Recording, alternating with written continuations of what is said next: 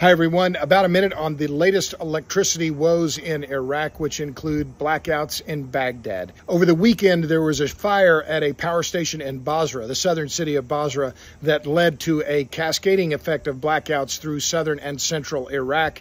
Um, at about the same time, there was a sabotage of a transmission line in western Iraq.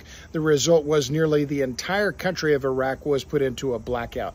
This happened at the same time that uh, summer temperatures in the region hit something like 47 degrees C, which is 117 degrees Fahrenheit. Um, the, the Iraqis have been suffering uh, power shortages for a long time.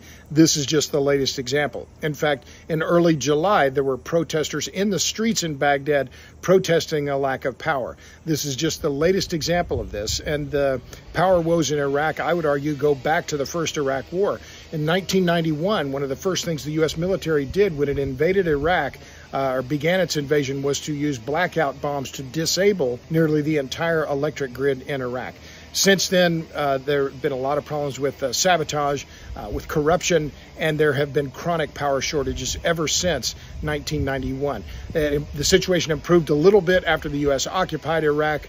But when the U.S. left, the Iranians and the Iraqis began uh, uh, uh, cooperating more closely. Remember, they're longtime rivals, but Iraq has been importing energy uh, in the form of natural gas and power uh, from Iran now for several years.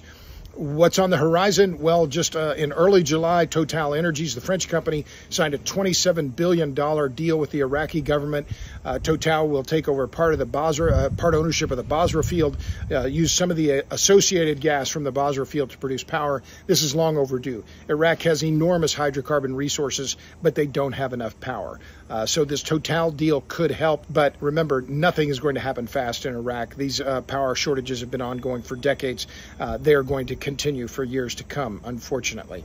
Uh, I'll stop there. You know where to find me on Substack, robertbryce.substack.com. Thanks a lot. See you.